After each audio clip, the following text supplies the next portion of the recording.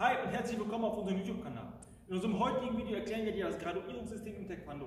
Nicht vergessen, abonniere vorher unseren Kanal und nun viel Spaß beim Video.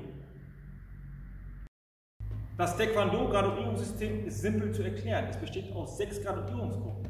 Gruppe 1 sind die Anfänger, also vom weißen Gürtel bis zum grün-blauen Gürtel, gefolgt von den Fortgeschrittenen mit dem blauen bis zum rot- bzw. braun-schwarzen Gürtel. Anschließend kommen die Leistungsdatengrade vom ersten bis zum dritten Datengrad. Im Anschluss an die Leistungsgraduierung kommen die Lehrdatengrade, also vom vierten bis zum sechsten Datengrad. Und dann natürlich nach den Lehrmeistergraden kommen die Großmeistergraduierungen. Ganz besonders, das sind nämlich die Graduierungen von 7 bis 9.